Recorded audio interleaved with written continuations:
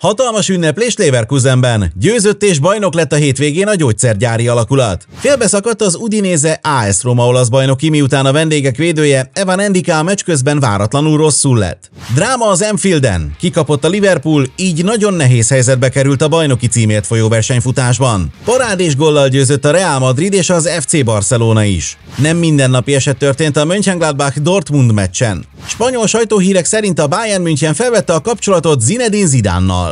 Üdvözlünk titeket a Tikitaka tévén, ahol ebben a videóban az Unibet támogatásával beszámolunk nektek a legfrissebb foci hírekről.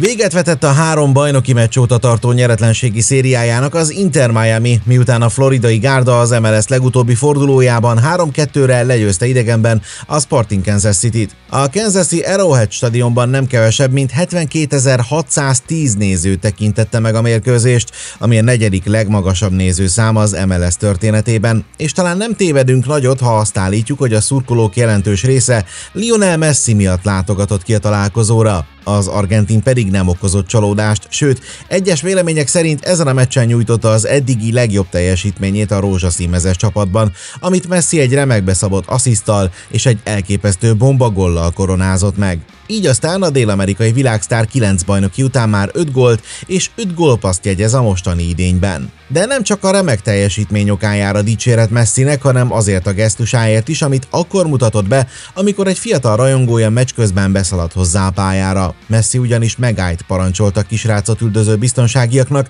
és készségesen odaállt mellé egy közös fotóra, amiért hatalmas tapsot kapott a lelátón helyet foglaló szurkolóktól. Nem mellesleg Messi klasszisát egy magyar játékos, nevezetesen Sallói Dániel test közelből tapasztalhatta meg, hiszen a 27 éves támadó a Kansas City-t erősíti. Sallói pedig nem csak hogy végigjátszotta a meccset, hanem az 57. percben 2-1-es Miami vezetésnél ő adta be azt a szögletet is, amelyből Erik Tomi belőtte együttese egyenlítő gólját. Az Inter Miami egyébként 9 mérkőzés után jelenleg az élen áll az MLS keleti főcsoportjában, még ha a legtöbb riválisához képest több meccset is játszott.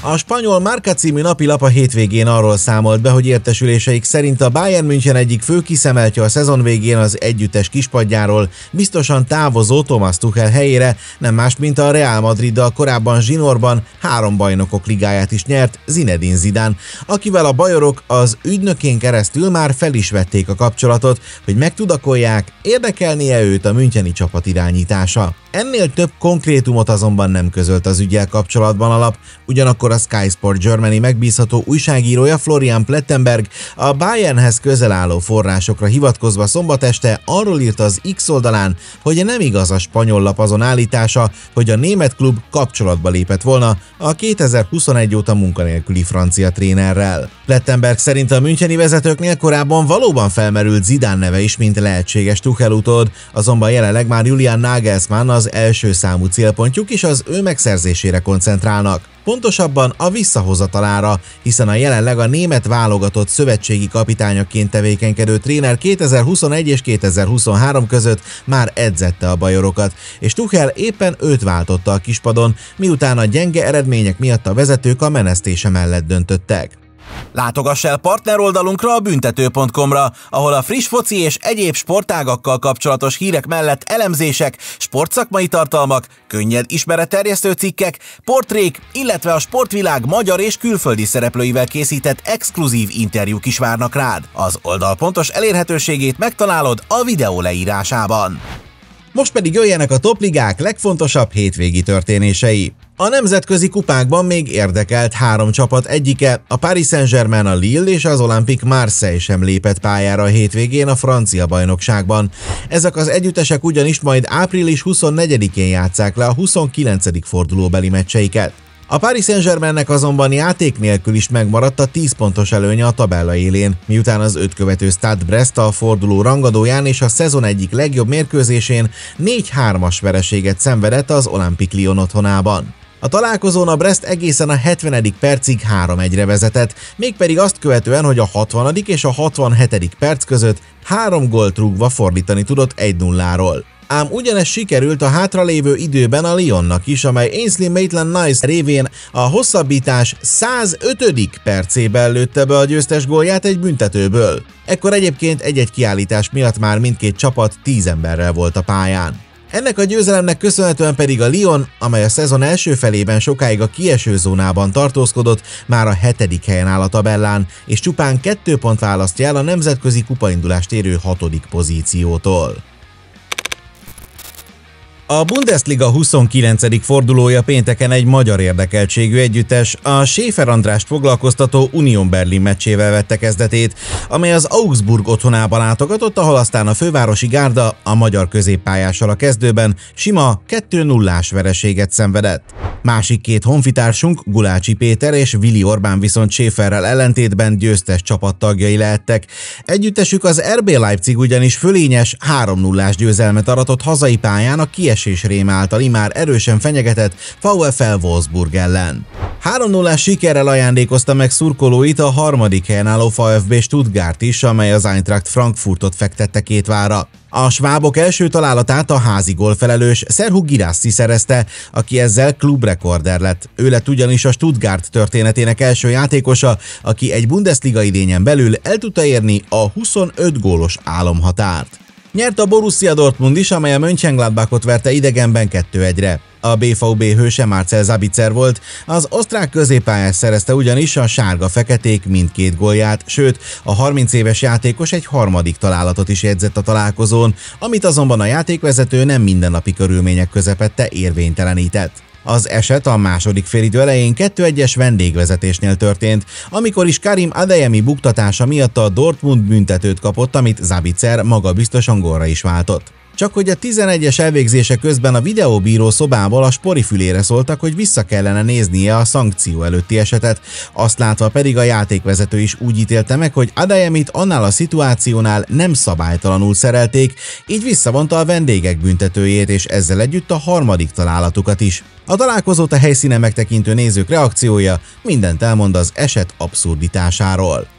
Két gólt rúgva nyerte a Bayern München is, amely két második félidőben szerzett találattal verte 2-0-ra odahaza a Köln gárdáját, mégpedig Löv Zsolt vezetésével. Ezen a meccsen ugyanis a magyar másodedző irányította a német rekordbajnokot, mivel a vezetőedző Thomas Tuchel épp az eltiltását töltötte. A vendégek védelmét először Rafael Guerreirónak sikerült feltörnie, aki a 65. percben egy csodálatos ballábas lövéssel vette be a kölniek kapuját. A meccs krónikájához tartozik még, hogy Kingsley Coman a második félidő elején combizom húzódás szenvedett, ami miatt le is kellett őt cserélni. A hírek szerint a francia szélső sérülése olyan súlyos, hogy ebben a szezonban már biztosan nem lépett pályára, ugyanakkor az Európa-bajnokság kezdetére várhatóan fel fog épülni. Ez pedig nem mellesleg azt jelenti, hogy az Arsenal elleni szerdai BL visszavágón Komant és Serge Gnabrit is nélkülözniük kell majd a németeknek.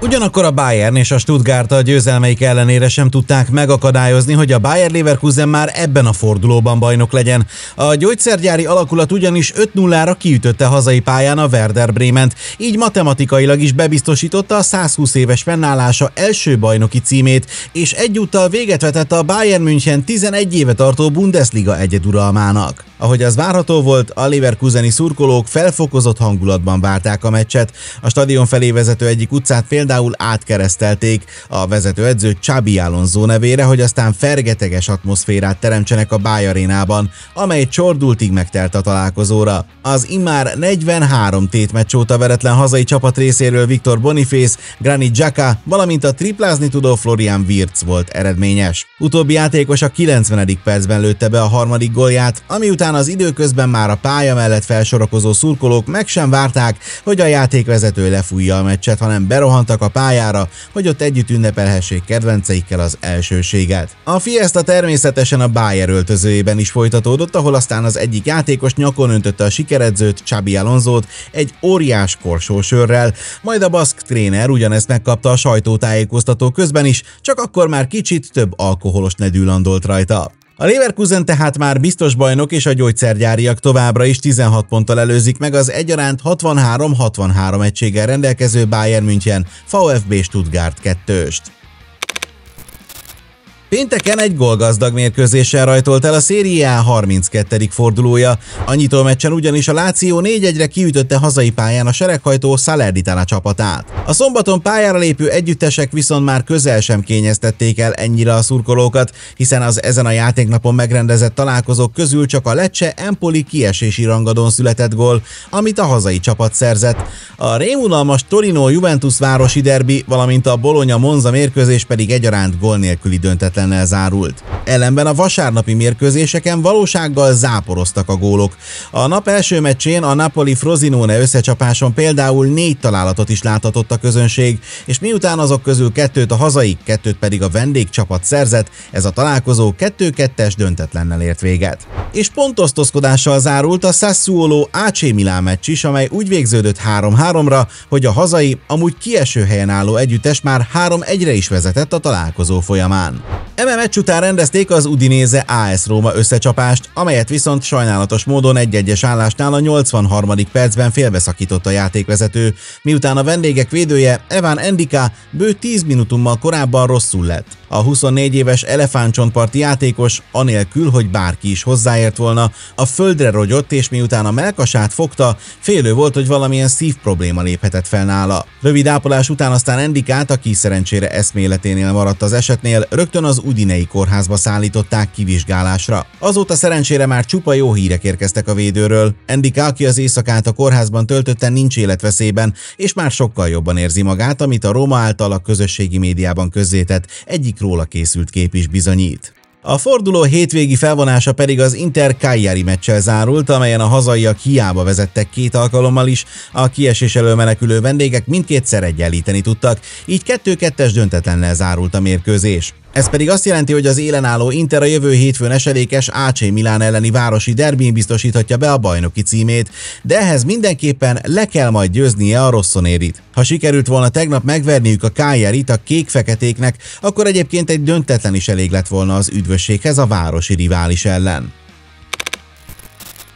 Meglepetéssel kezdődött a Premier League 33. fordulója. A játéknap első szombati mérkőzésén ugyanis a hazai pályán játszó, a különböző okok miatt épp egy kezdőcsapatnyi játékos nélkülözni kényszerülő Newcastle United kiütéses 4-0-ás vereséget mért a Tottenham Hotspurre. Négy gólos különbséggel nyert a Manchester City is, amely 5-1-re ütötte ki hazai pályán az újonc Luton Town csapatát. A címvédő egy meglehetősen szerencsés gollal szerezte meg a vezetést, Erling Holland ugyanis a második percben egy kapáslövéssel próbál próbálkozott, ami jó alaposan elkerülte volna a kaput, ám a labda pont a vendégek játékosa Daiki Hashioka arcát találta telibe, amiről aztán a játékszer védhetetlenül vágódott a hálóba. A felvételeket elnézve, alig nem ez volt minden idők egyik legfájdalmasabb öngolja. Így sem maradt azonban gól nélkül a norvég támadó. A 73. percben ugyanis ő szerezte csapat a harmadik találatát, mégpedig egy büntetőt értékesítve. Ezzel pedig Holland lett az első játékos, aki elérte a 20 gólos határt a Premier League mostani kiírásában.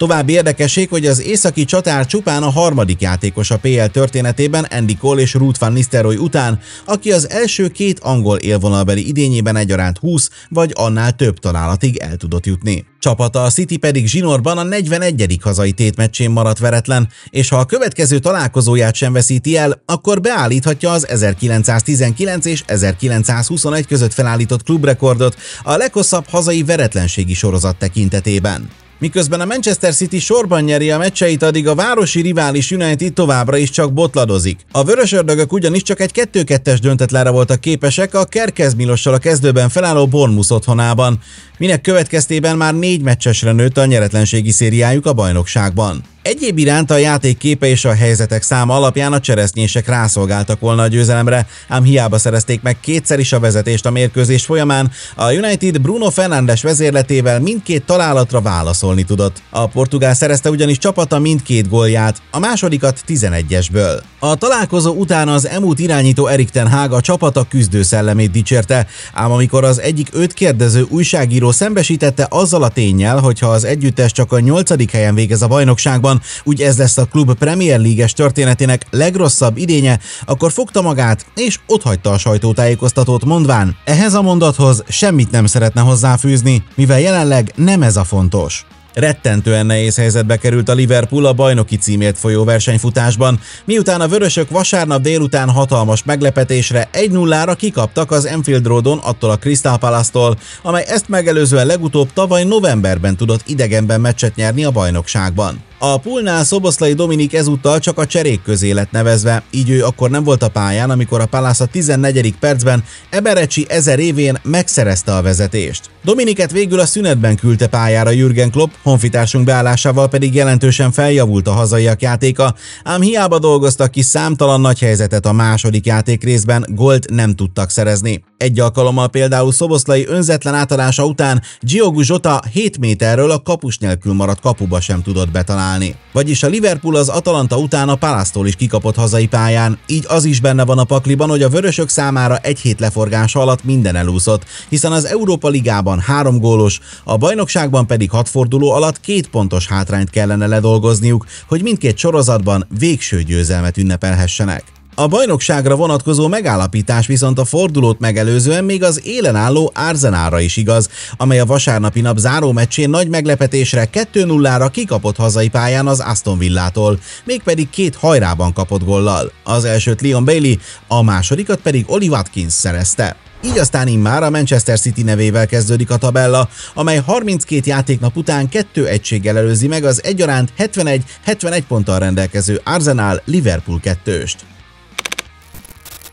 A Bajnokok Ligája negyeddöntő visszavágóra készülő három csapat, az Atletico Madrid, a Real Madrid és az FC Barcelona egyaránt szombaton meccselt a La Liga 31. fordulójában. Közülük elsőként az Atletico lépett pályára, amely a forduló rangadóján a harmadik hely elérése szempontjából egy nagyon fontos 3-1-es győzelmet ért el az említett pozíciót elfoglaló Girona ellen, mégpedig úgy, hogy a találkozó első gólját a vendégek szerezték. A fővárosiak fordításában Antoine Griezmann játszotta a főszerepet, hiszen ő szerezte csapata első, illetve harmadik gólját is. Utóbbit egyébként Rodrigo de Paullal közösen a dél-afrikai Sipivi Csabalalának a 2010-es VB-n bemutatott ikonikussá vált táncát imitálva ünnepelte meg. Mint azt a francia támadótól a meccs után megtudhattuk, ezzel a gólörömmel az Amaro névre hallgató kisfiának szeretett volna kedveskedni, aki minden meccs előtt azt kéri tőle, hogy ha betalál, akkor adjon elő valamilyen táncot. Nyert a másik madridi sztárcsapat, a listavezető Real Madrid is, amely a Real Mallorcát verte idegenben 1-0-ra.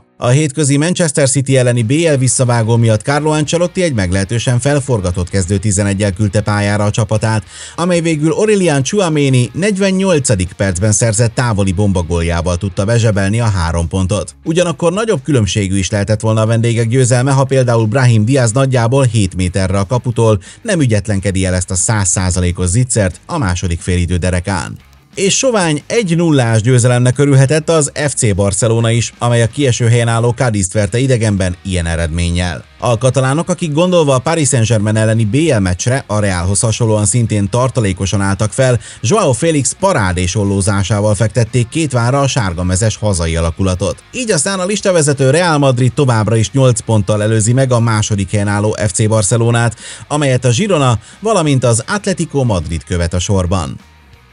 Ezzel pedig az összeállításunk végéhez érkeztünk. Írjátok meg a véleményeteket az elhangzott hírekkel kapcsolatban a videó alatt kommentben. Ha pedig tetszett az összeállítás, akkor nyomjatok rá egy lájkot, és ha eddig még nem tettétek volna, akkor iratkozzatok fel a csatornánkra.